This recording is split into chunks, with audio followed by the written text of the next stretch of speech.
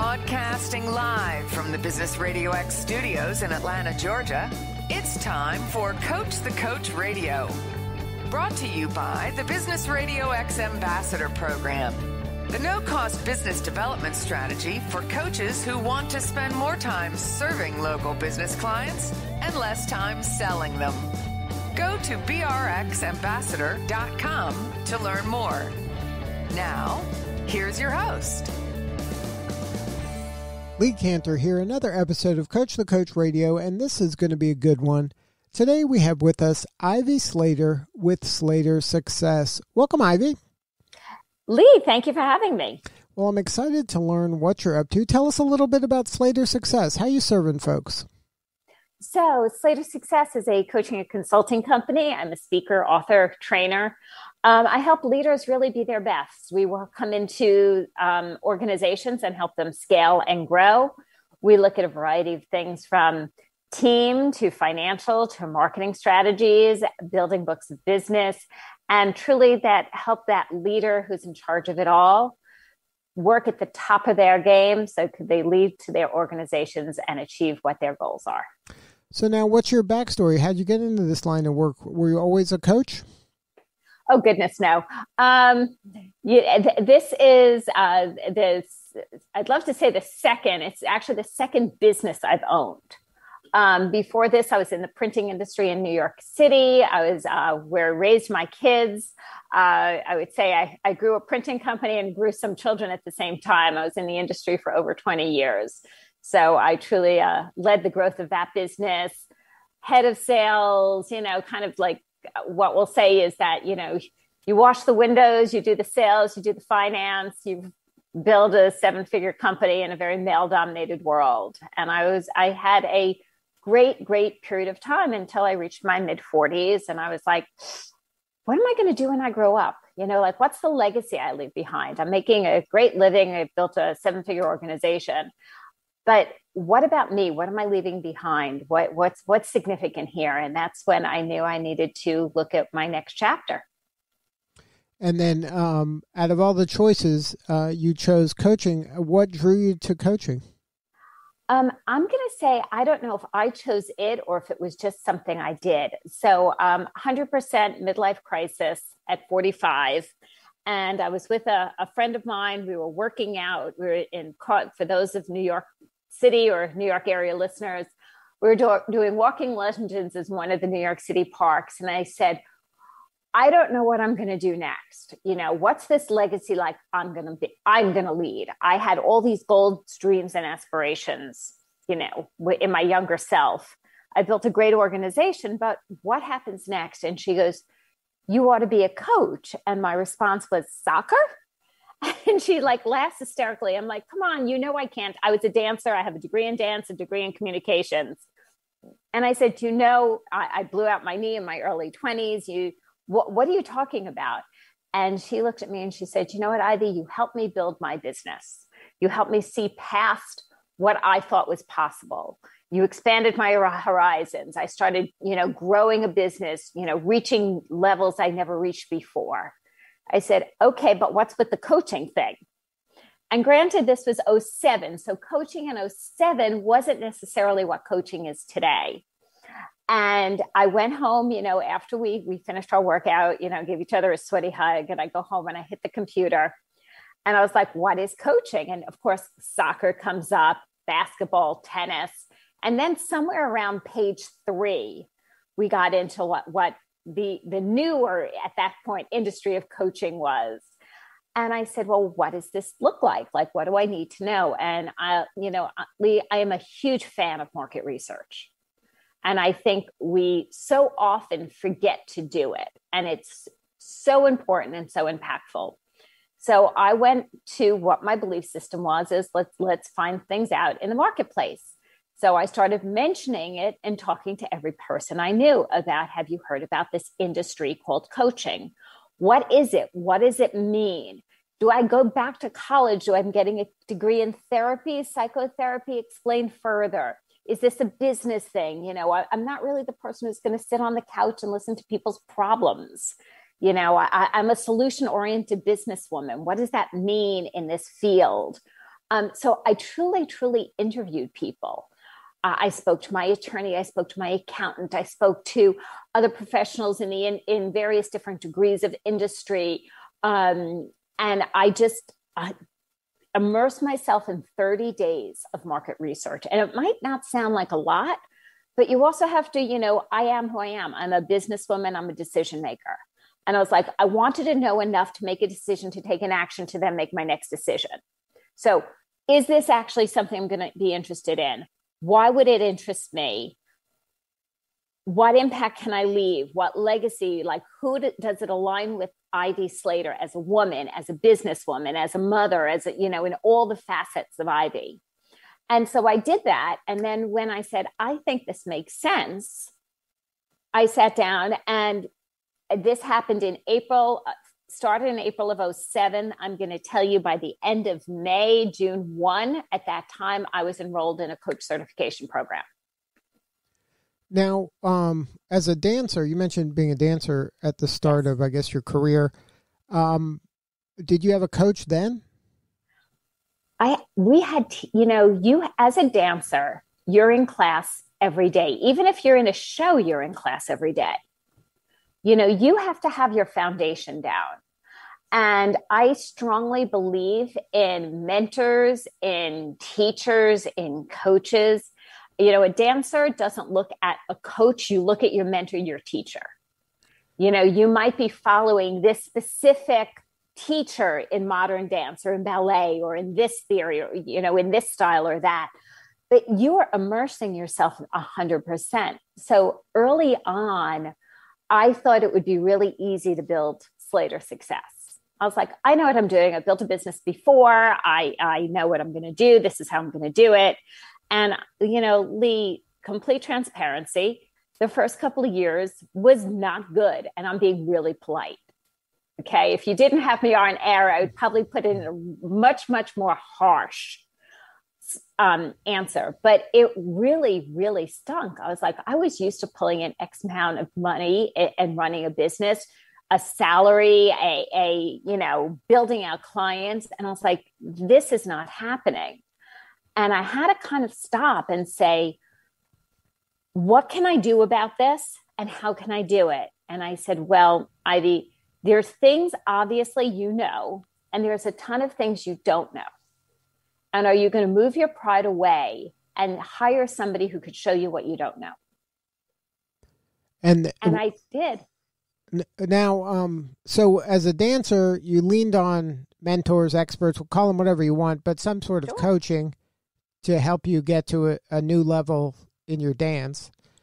In your business, when you were in printing, did you have the same infrastructure? Did you have mentors and coaches or people that helped you achieve success there, or was that kind of on your back? Um, I always, always believed myself in surrounding myself with people who were smarter than me.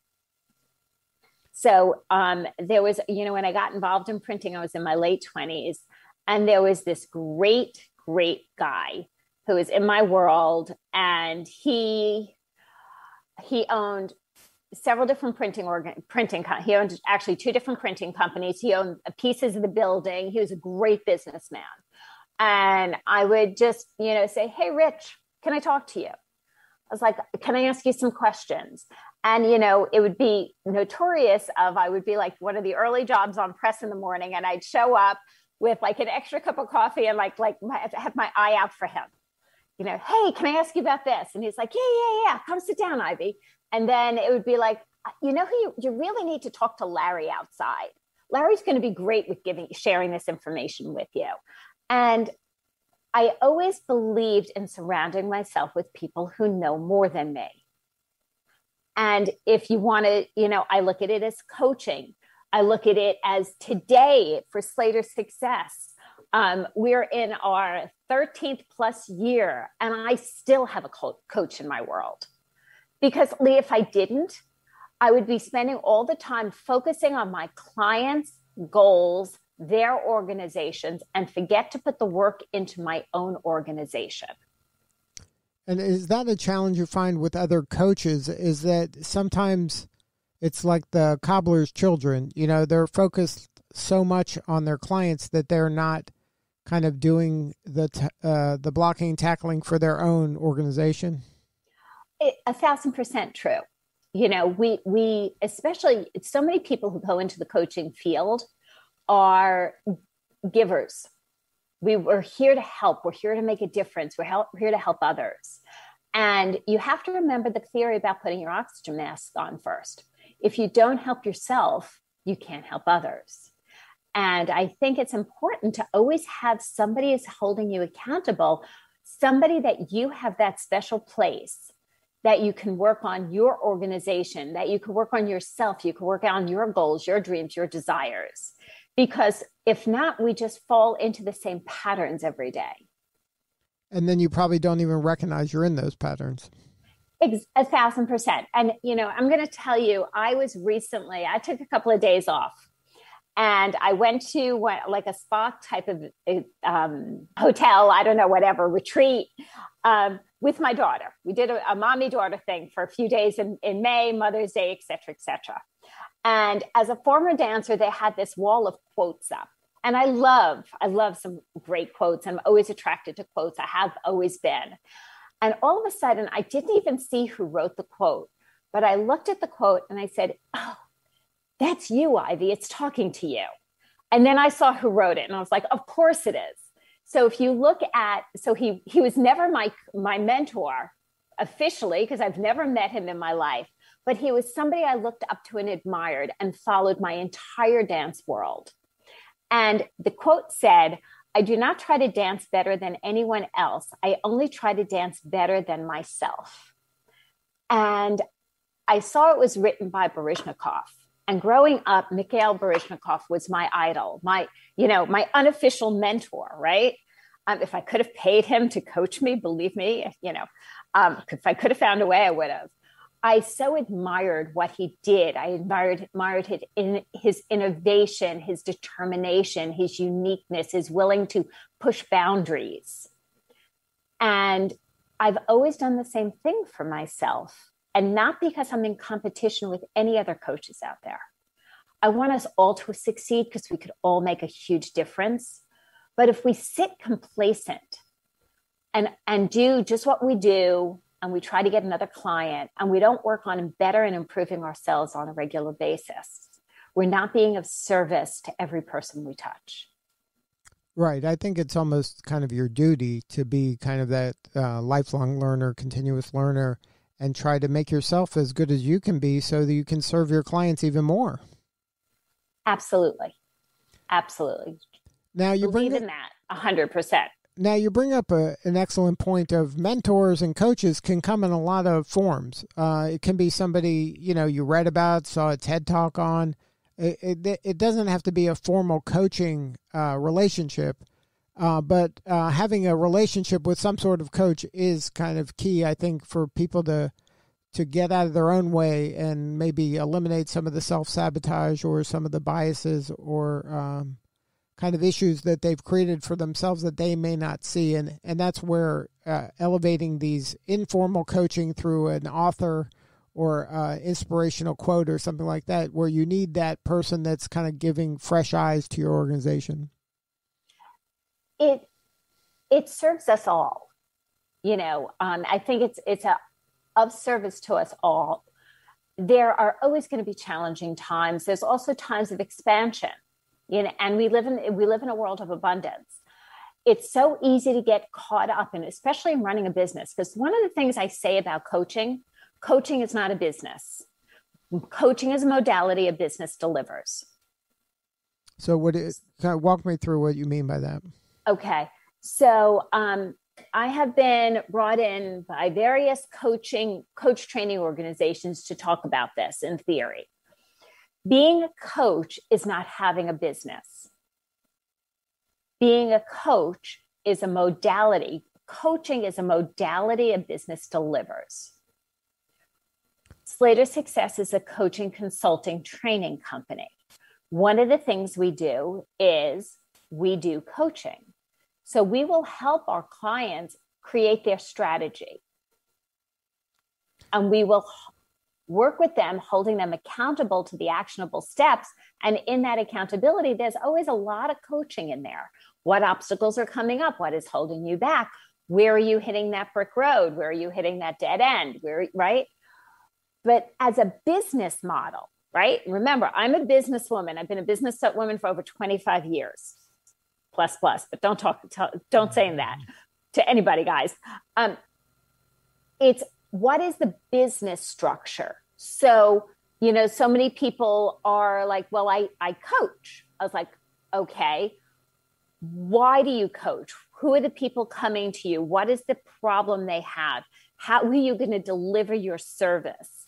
How are you going to scale that? What are you looking to achieve in the goals of your organization? So, coaching is something that is a delivered piece, but it's not the business itself. Does that make sense? Yeah, that's just one of your deliverables. Right. And any coach we work with is what what is the coaching they're delivering sometimes it's marketing sometimes it's sales right sometimes it's strategy sometimes it's inner work sometimes it's life work sometimes it's transformation sometimes there's you know um, grief coaching there's so many things what is the delivery of the coaching is something the business delivers but it is not the business right and so you help your clients kind of uh, discern the difference between that and then maybe help them productize other types of deliverables? Right, because coaching is something that can be delivered, but I'll never say coaching is actually the business. Right, and I because guess a business has a marketing structure, a sales structure, a financial structure, a team structure. We're right. That's a business and then some people probably think that oh i'm going to be a coach and then i'm going to and that's my business and i'll be doing coaching and they don't realize that that's just one thing they're delivering or even if it's the only thing they're delivering it's just they have to separate it from the business that they're getting into right you have to look at yourself so if you're a coach are you also the ceo of that organization Right, and the salesperson and the marketer and the correct and the service deliverer. Like you know, where does your job begin and end? And the the mindset of looking at it as a CEO. So how right? How are we going to deliver these services? Where are we growing this company to? Am I going to be the only coach? Are there going to be other coaches? Are there going to be group programs? Are we going to be doing trainings? Are we going to be doing workshops or seminars? Are we going to be speaking? Are we paid to speak? Are we not paid to speak? what does the whole thing look like? And then when you're working with your clients in this way, they're probably these are like eye opening um, kind of things for them where they're just like, oh, yeah, I never looked at it that way. And all of a sudden now they have multiple revenue streams and they can really grow their business. Yeah, I don't love building a business on only one type of revenue stream because it leaves you vulnerable you know in the same in the same way you know back when i was selling printing i didn't agree with just having a like you know uh, just having a few big clients it's like well you lose one client or something happens with that client they get acquired you know uh, back in the day fairchild publications was one of my biggest clients got acquired Okay, they got acquired several times as they were my client.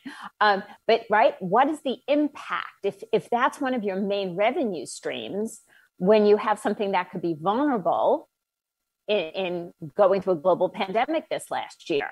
Are people paying for one-on-one co- coaching? Do they want group?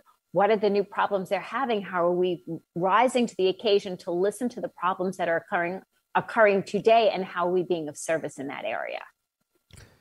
Now, when you're working with your clients, um, do you have kind of a sweet spot of an ideal client, or is this kind of um, industry agnostic, or do you have a specialty? Um, I definitely work um, very much in the professional service area. So, service based businesses in the professional area. So, I work with an enormous amount of law firms and attorneys. Uh, in the accounting space, uh, CPA, CFO organizations, financial organizations, a lot in the agency model area and some with some coaches and consultants who are looking to scale.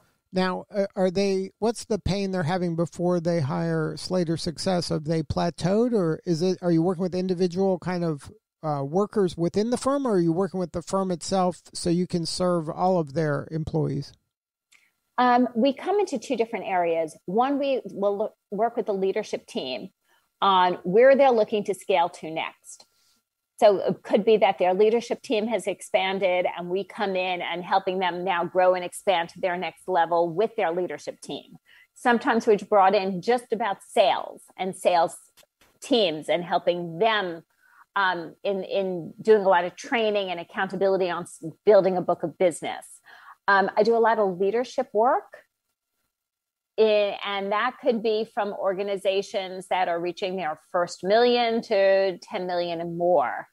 Um, so it sometimes it's it's the, the C-suite and the top tier leadership. Sometimes it's within a department within an organization, depending upon the organization. Now you mentioned at the beginning of your career, coaching was kind of a it was more exclusive. Now more and more mm-hmm. folks are, are kind of getting coached and believing in coaching. Are you finding that more organizations are offering coaching to their people? Well, I'm finding first thing is more organizations actually know what coaching is. So in my early days, we actually had to explain what, you know, the value the value of bringing in a coach to an organization. Um, now it is a very common term. It's a common knowledge. So I, I think that's a huge win-win. Um, in, in it's not unheard of if the organization brings it in. Sometimes people will say, "Oh, I want to join this," you know, um, peer mentoring coach group or something like that, and organizations will cover part of it or all of that. So it's a common conversation paid for and supported in various ways. So you're seeing that, but it being offered, it used to be a perk only for like the highest levels of the organization. Now that's kind of trickling down further. Yeah, it was either a perk for the highest tiers of the organization, or somebody brought in, or um, a problem in the organization, they bring the coach in to fix. Right. The board was fixing the CEO with, with board the fixing the CEO. um, this person on the, you know, they, they, they can't play nice in the bullpen. right. Um, can you come in and fix them? fix Bob. Right. Exactly. um, I not work I love to do. Um, I believe truly in elevating the whole team. And so in, in, in the last, here, here a story, a quick story about a client in a large global organization, um, VP and I was brought in to work with him. It was kind of like a perk they threw him. But he also had some goals that he was being passed over. So it was it was it was a win-win on both sides on okay, we'll throw you a coach moment. And I will say after working with him for our contracted period of time, I always stay in touch with everyone. And what was really cool is it was about three to four months after we concluded in one of my just you know random touch base hey just thinking about you want to check in see how you're doing. And you know the response back was not only was i promoted but two of my people on my team were promoted on based on how we're running this team now. And you know in one of my new acquisitions of what we're managing the review on their people has been you know a, a program they thought they were going to have to throw out is a program they're now loving so that's what the long term win is about. It's about full elevation of the team, not fixing the person. Wow. And that goes to the heart of what you got into this business for is to create that legacy and those ripple effects. That must be very kind of a rewarding uh, to be to hear that. That's where the joy is. Is the joy nowadays of seeing those kind of successes where you're seeing your clients and their your clients' colleagues succeed based on your coaching? As much as you know getting that big printing deal back in the day? You know exactly. It, it's truly it's the ripple effect and it's the relationships you build now and the, the relationships that last from here to eternity if you put the effort in. And that's that's a huge huge ripple impact.